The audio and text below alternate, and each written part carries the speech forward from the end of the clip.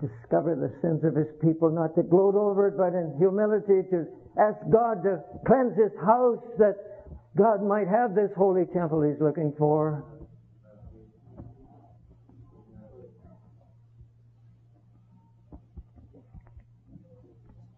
Now, Jesus was that expression of God in the earth that reproved the world of its darkness, of its sin, of its disobedience.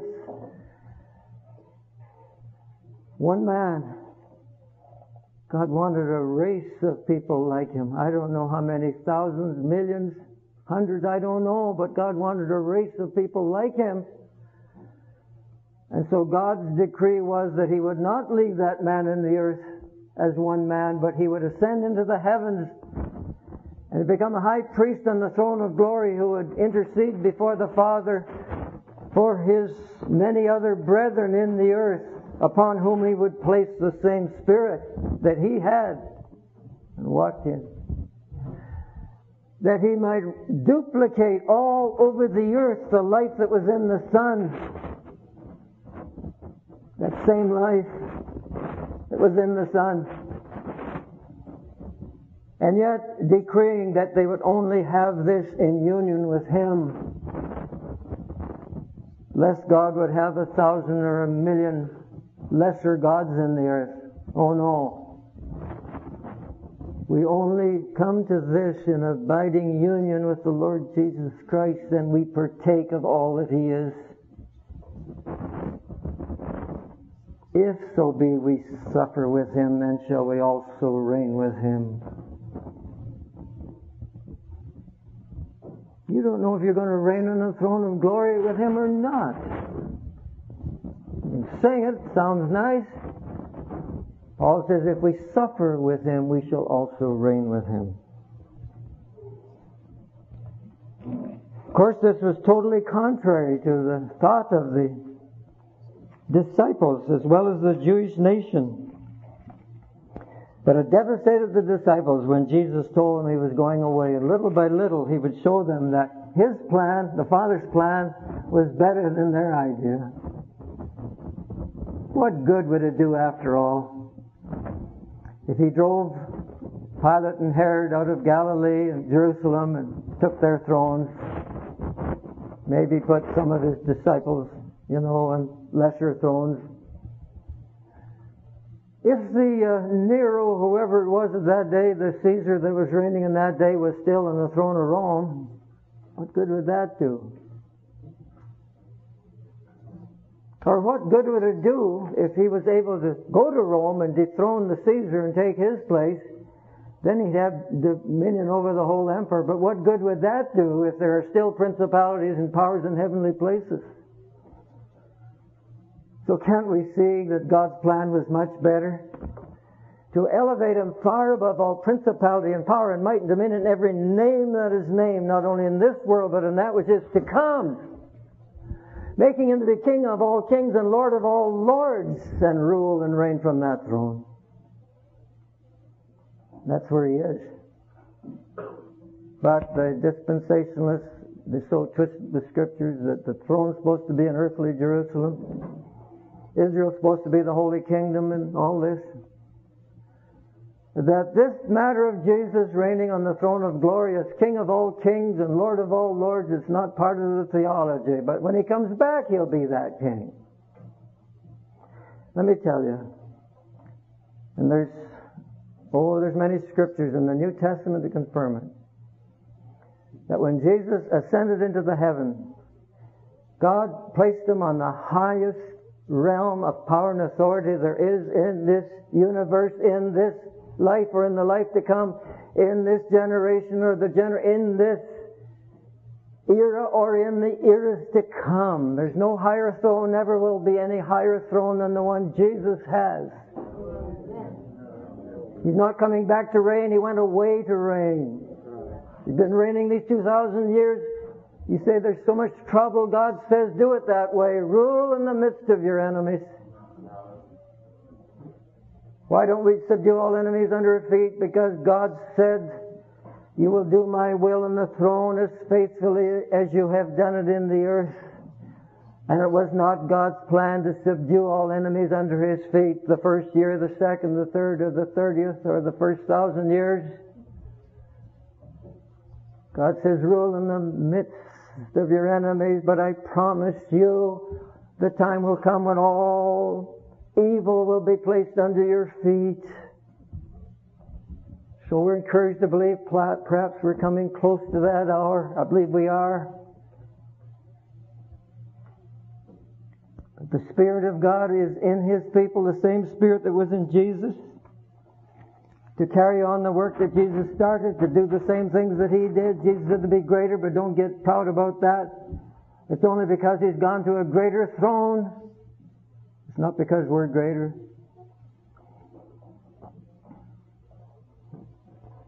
And Jesus said, It's good for you that I go away.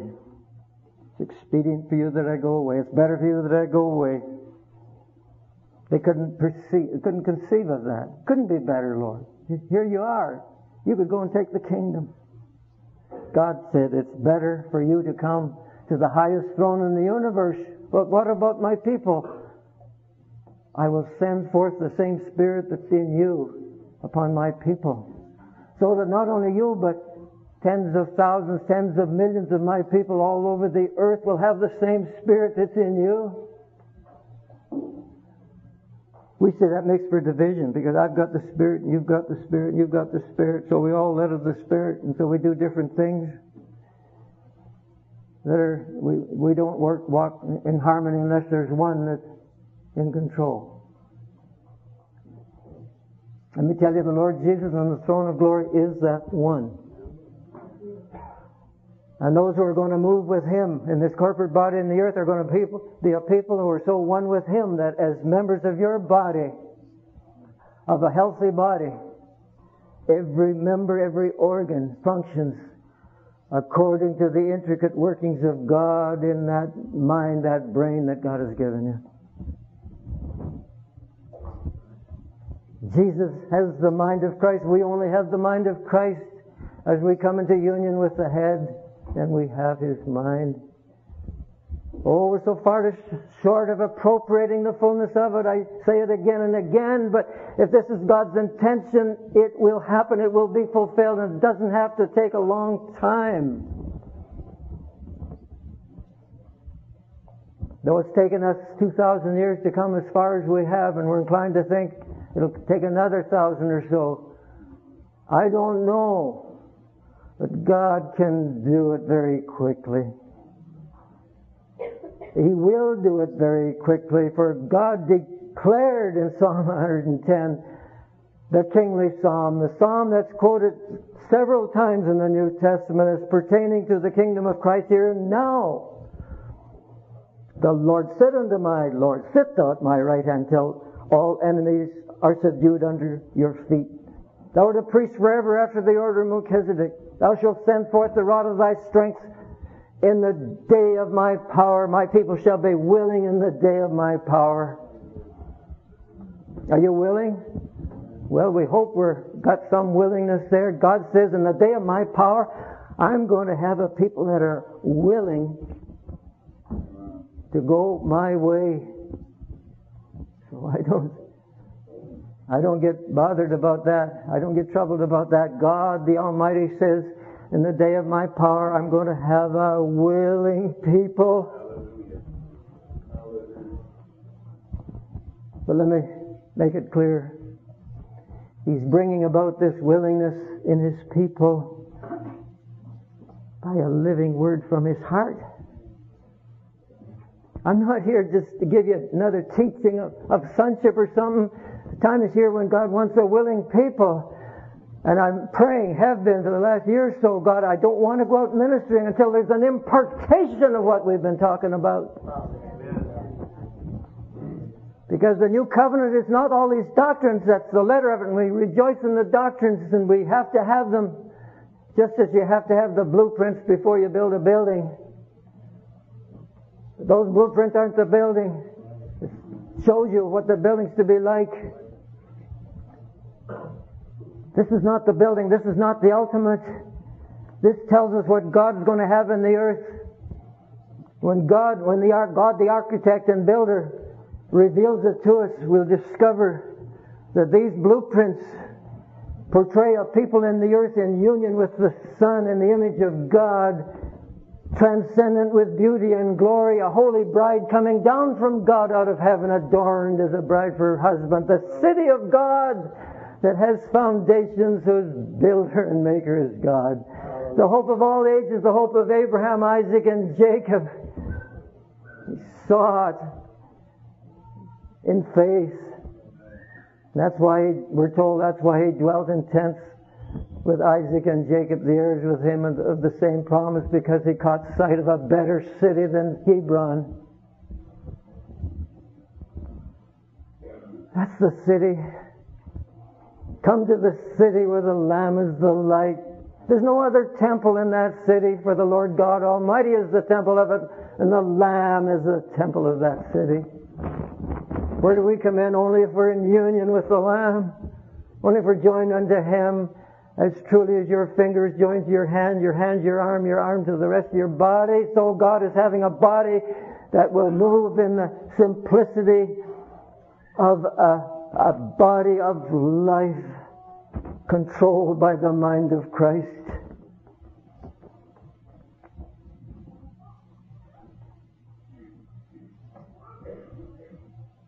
Let's not lose that vision. That's the only reason He gives us these doctrines. So that we'll realize where we are, where God wants to bring us, and show us the way to get there through much repentance and heart searching. Not just by ourselves, but by God the Holy Spirit penetrating our hearts so deeply that the, even the soul and spirit is divided. We don't get discouraged or troubled when we see soulish things and spirit things because there hasn't been that sharp sword sharp enough to cut asunder. But he's raising up a people who so learn the discipline of the Holy Spirit that when they speak, it'll be a sharp sword out of their mouth that will cut asunder the soul from the spirit, the joints from the marrow, and discern the thoughts and intents of your heart. Oh, I used to think we should have discernment we need more discernment to know what's right, what's wrong. I know it bothers me. God wants to give us more, but He wants that discernment to spring forth as a quality of fruit out of love. For He said to the Philippians, when I found that, I, when I start praying for more discernment, God reminds me of that. That your love may abound yet more and more in knowledge and in all judgment that you might approve the things that are excellent, that you might bring forth fruit for His glory, that your love might abound unto the place where you know what God loves and you know what He hates,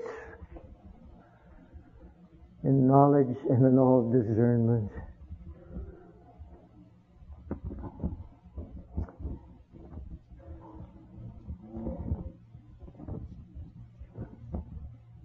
Well, for this time, I think we'll leave it at that. Before you get up and go anywhere, I want to say a few things. Dear Heavenly Father, I just pray that you will. We thank you for gathering your people together, Lord, in this hour. We believe it's because you want to speak to their hearts. You said, Lord, that you would Bring them into the wilderness and speak to their hearts. Because when we come into wilderness ways and the springs dry up and the foliage turns brown and there's no fruit or no water, we're able to hear more clearly what you're saying. And over and over again you say to the churches, He that hath an ear, let him hear what the Spirit says to the churches because we're still dull of hearing. Because we're doing pretty well, because we've got great ministries and great gifts and wonderful blessings from your hand, and so we're blinded by the blessings instead of being humbled by them as you intended when you gave them.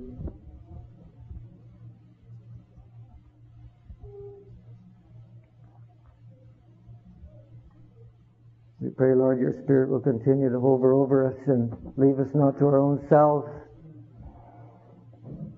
But even in the time that's left in this two days, or three days of gathering, Lord, that you will penetrate the hearts of your people, divide soul and spirit asunder till we see as you want us to see, and be willing to let the old go for the new. Not to fear about the dissolution of the old wineskins, but to know that you want to give us a new heart, a new mind, put a new spirit within us by your creative power. Let us not think it's some hard thing because we think, in thinking about it, we think we have to do it, but cause us to know rather it's the beautiful work of the Spirit of God within us, who by His precious Spirit forms the mind of Christ within us as we're prepared to forsake the old. And gathers together to this evening again, we pray, dear will to hear words from your heart. We pray in Jesus' name. Amen. Before we just reflect upon these things before we before we rise up, ask the Lord, dear Lord, to penetrate our hearts with these things. Let it not be another good teaching, but a, may it be, as the songwriter said, begin a revolution within us. That in the end of the revolution, we'll find the old torn to pieces and the new wineskin of the Spirit coming forth. That Jesus might be glorified in all things, and his name highly exalted, not only in the church, but amongst the heathen who are now blaspheming your holy name because they look at the church and say, if that's God, I don't want it. Hasten the day, Lord, when they'll say the Lord is doing great things in the midst of those people. God's holy name might be magnified in the earth.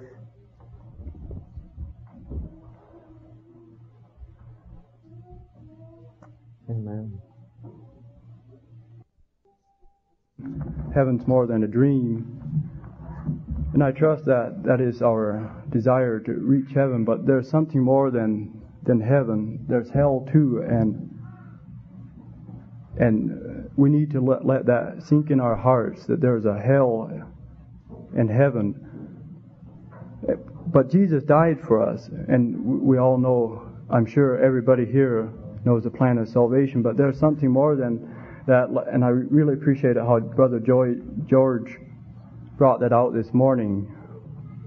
There, there's something more than being saved. And what, what is that? It is more than just having the manifestations of the Spirit. It is, it is to worship God. He, he, he wanted fellowship. He formed us, He created us in His own image.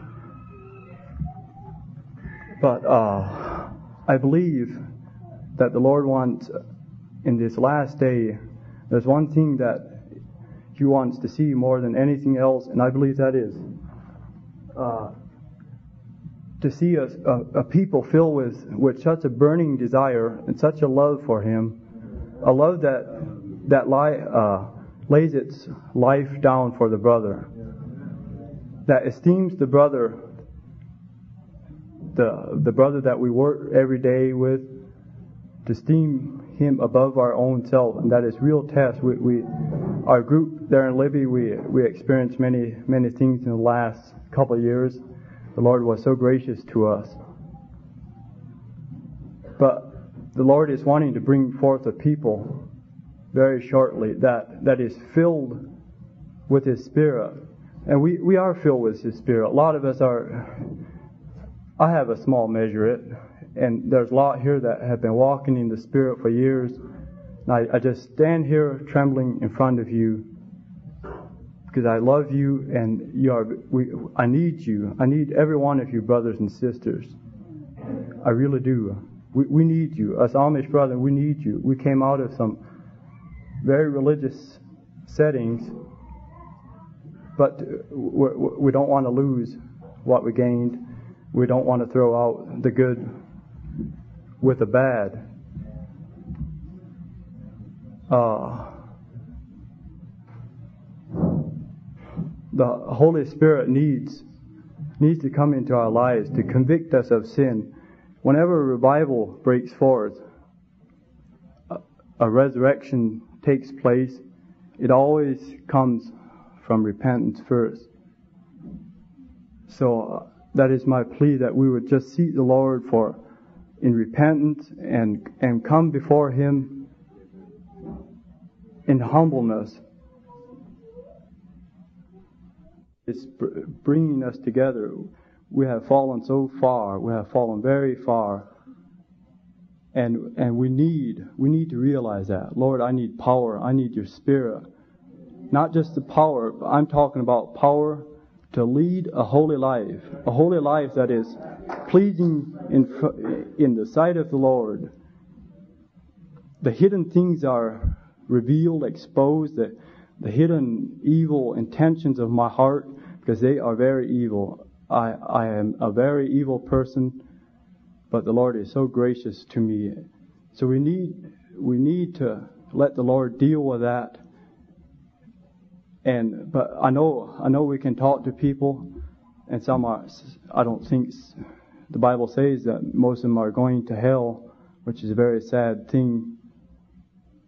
So, there might be people that we meet that, that aren't going to turn their heart to the Lord, but I just want to share what the Lord put on my heart and about this, that the, power we still need, the, the spirit we need, the, the brokenness we need.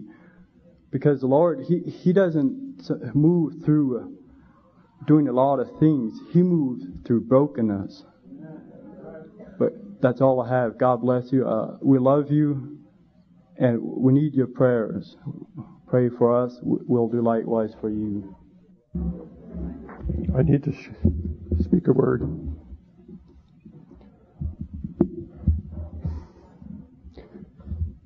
What I have seen tonight is one of the greatest miracles that I have witnessed in my whole lifetime. These are my people. This is my history. This is my background. This is my heritage. I have sat in meetings in a large barn where the meeting went on and on in a religious way. I looked around at the young people and I had to weep because they had no interest. But they were bound and they were trapped. I said, Oh, Spirit of God, when are you going to visit these people? They would have a form, but they don't have you.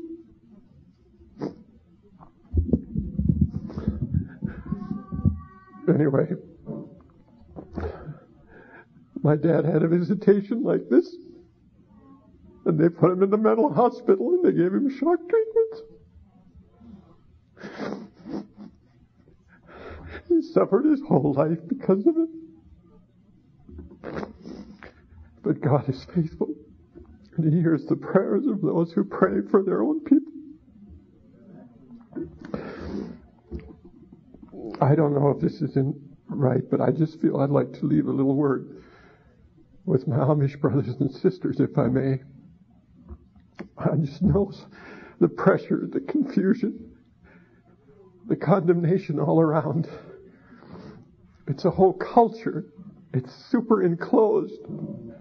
The way we think, what we do, our sense of worth, who we are, is totally part of it.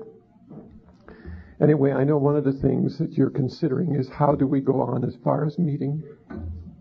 What do we do in our meeting? We don't want to do the old way, but we don't want to throw it all away. Like the brother said, what's the good and what's the bad? From my experience, I have to say there's no recipe and no pattern. Only Christ Himself is the recipe and the pattern. People always get in trouble when they think they've finally been found the way to have the church. And then they go after that and they lose Christ. But one day it came to me there isn't a pattern, but there are windows. It's like a big building, and every once in a while, a scripture passage is a window to look into what the church should be like. It's not all of it, but it gives us a feeling whether or not we've got it. And one of the windows I'd like to share with you is in John chapter 12. This is a wonderful story. In John chapter 12, here is a window. And it starts out, and Jesus. Six days after the Passover, Jesus arrived at Bethany, where Lazarus lived, whom Jesus had raised from the dead. And here a dinner was given in Jesus' honor.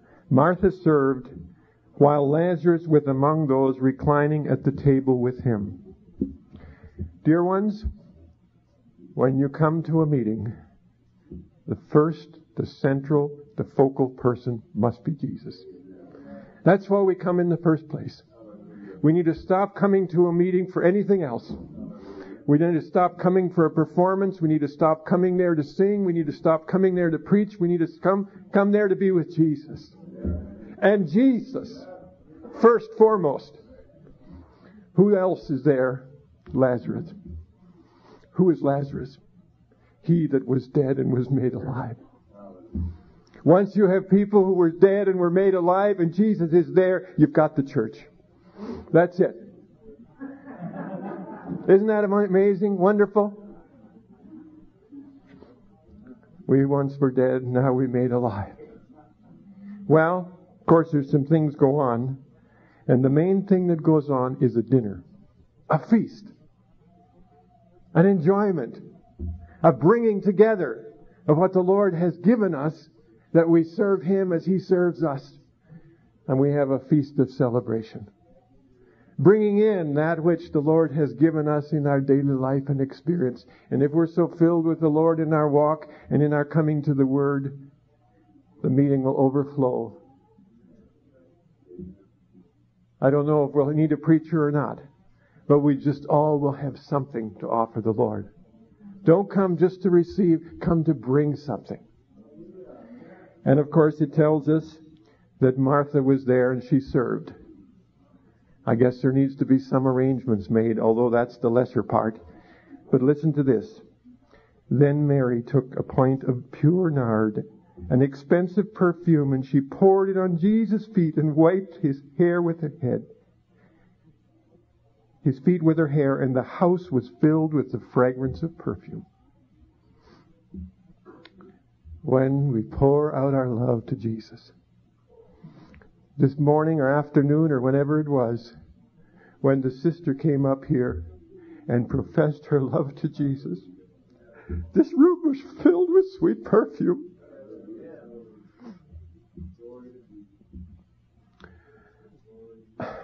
To me, that was worth more than a two hour sermon. Pour out our love to Jesus, and it fills the place with fragrance. But something else happens. But one of the disciples, Judas Iscariot, was there. And he said, What's going on here? What a waste. That could have done a lot of good. But he said this because he had the purse. But you know what? His motives got exposed. If we gather together and Jesus is the center and people are there who are made alive and the love for Christ is poured out, the Judas in all of us will get exposed. And anyone else who doesn't know this Jesus, something will be exposed.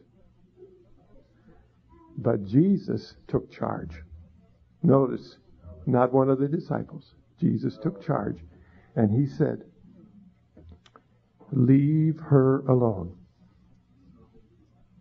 Well, I don't want to take too much time, but finish looking at this passage and you'll see that people began to come to see Lazarus who had been made alive. People are going to come to your meeting to see what in earth has gone on here. How come these people I've made been made alive? But if you read a few verses down later, it says, even though they came to see Lazarus, it says, many of them, of the Jews, were going over to Jesus and putting their faith in him. I think when they came in and said, Where's Lazarus? Where's Lazarus? What's going on here? And they looked to find Lazarus. You know what they saw Lazarus? And you know what he was doing? He was pointing over to Jesus. Don't look here. Look to Jesus. Folks, don't look at us. It's Jesus. It's Jesus. Even though they came just to see what was going on, they ended up believing in Jesus. Anyway, may we all have such gatherings when Jesus is the center, the focus. The love is poured out. Anything against God is exposed. And even though people come just to find out what the world's going on, they end up meeting Jesus. And they end up believing in Him. We trust the Lord would grant us this experience more and more as we gather in His wonderful name. God is mit euch. Lobt den Herrn. In, I think of the native people often. We have so many friends amongst them, and I don't know if there's any of them here, but how God is raising up powerful native ministers. Seeing these truths and cherishing them and pressing on toward the prize of the high calling of God in Christ Jesus which is nothing more than, well, Paul said, he declared it, that I might know him and the power of his resurrection and the fellowship of his sufferings, being made conformable unto his death, if by any means we might attain unto the resurrection out from among the dead. The focus is Jesus. The focus is the Lamb on the throne. All through the book of Revelation, the focus is the Lamb on the throne. All through the book. People say, oh, what about the lion of the tribe of Judah? Nobody saw a lion. The angel said, Weep not, John. Behold, the lion of the tribe of Judah hath prevailed, and he will open the book and loose the seals thereof. And John looked, and it was a lamb slain from the foundation of the world, King of all kings and Lord of all lords. And what God is emphasizing all through the book, 28 times he's seen as the Lamb reigning on the throne, reminding you and I that, especially those who are power minded, that the power is in the Lamb. The power is in the cross. The power is in the blood. It's in the death of Jesus.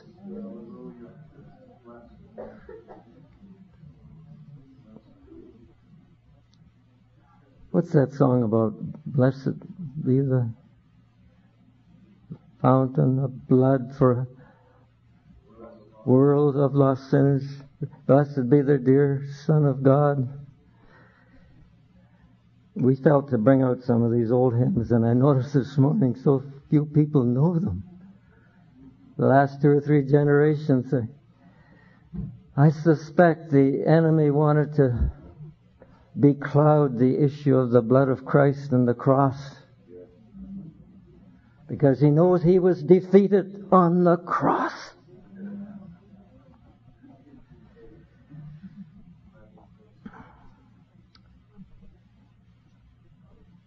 Oh, dear Lord, I just pray for your people, Lord. Gathered here tonight. I pray, Lord, for some who might have been hurt, Lord, because of what happened. Lord Jesus, that as I said this morning, they might receive it as the precious ointment on their head, which will not hurt them. Whether I was right or wrong, Lord, it won't hurt them if they receive it as the precious ointment. But God, you know my love for you and for your house. One thing have I desired of the Lord, that one thing will I seek after, that I might dwell in the house of the Lord all the days of my life, to behold the beauty of the Lord, to inquire in his temple. Purge us, O Lord, purge our desires from all evil desire. Purge our beings, Lord, from all selfish interests and agendas. Purge us, Lord, with hyssop, and we shall be clean. Wash us, and we shall be whiter than snow. For you said, I desire truth in the inward parts, and the hidden man will I discover wisdom. Dear Lord Jesus, I know your people have come here from many hundreds of miles, some of them. And I don't think it is to have just a convention going over all the different doctrines. I believe it was to discover you in a new dimension.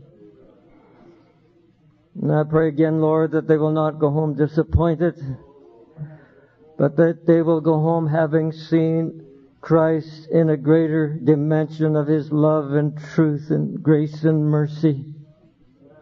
That Christ shall have been magnified in their hearts and lives that you will have wrought within them a, new work of cleansing and purifying.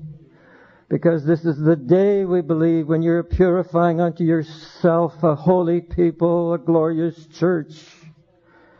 That you might present it unto yourself holy and without blemish, you said, by the washing of water, by the word. We pray that word, O God, that living word, that word from your heart will continue to wash and cleanse your people from all defilement of flesh and spirit. We think, Lord, of Joshua the high priest standing there. In vision, Zechariah saw him clothed with his dirty garments. And in vision, he heard the accuser saying, burn him, destroy him, he's fit for burning. But God stepped forth and said, Is not this a brand plucked out of the fire? Take away the filthy garments from him and clothe them with change of raiment. God, we desire that there be such a quickening word going forth even this today and tomorrow, Lord. That somehow there be that word coming from the courts of heaven saying, Take away the filthy garments of my people and clothe them with change of raiment. Put a fair mitre upon their head, that they might be priests unto God in my house, that God's house might be glorified and sanctified and made pure and holy. That God, the Lord of glory, might come and dwell in it with all his fullness. We believe this is your intention to so cleanse and purge your house that you might find a habitation fit for yourself where you would feel comfortable and at home. Therefore the prophet said, for Zion's sake I will not hold my peace and for Jerusalem's sake I will not rest God, you said you would not rest until the righteousness of Zion went forth as brightness and the salvation thereof as a lamp that burneth. We thank you, Lord, that you're not going to rest till this happens. With your people who are longing for that rest, you are longing for that rest. And so you're finding a habitation in them even now because your heart is compatible with them. So you declare you set watchmen upon the walls of Jerusalem who will cry to thee day and night, saying, Give him no rest till he establish, until he make Jerusalem a praise in the earth. Thank you, Lord, that you've put the burden of your heart in ours we thank you that in some small measure, Lord, we, we found something compatible with you. You're longing for a holy people. You're longing for a righteous people. You're longing for a people in whom will radiate the light of God that the nations might see that light. Lord, we thank you for showing us your heart and your desire that we might pursue that desire. And we pray you will give us grace, much grace to pursue the desire not of our hearts, but of yours. But then the desire of your heart, let it be ours. Let there be no distinction, but let your will, Lord, be our will. Your desire, our desire. Your work, our work. Your words, our words. Your life, our life. For only then is the world going to see Jesus revealed.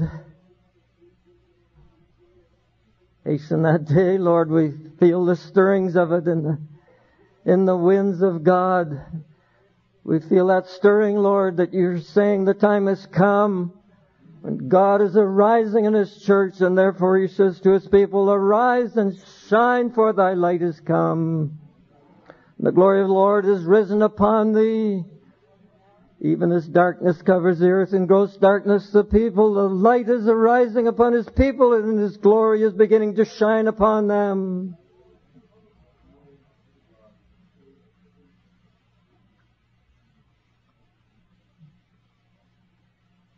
God, we pray that you will be very present in the remainder of this service, Lord, tonight and tomorrow, such a very real and vivid way. That there will be an impartation from your heart, that the Spirit of truth will be given full authority in our midst, that He might take from you and impart it unto us. For therefore you left Him in our hearts and lives, that He might reach out to your heart and reveal the living Christ and all his glorious virtues, excellencies, that your people might be appraised in the earth.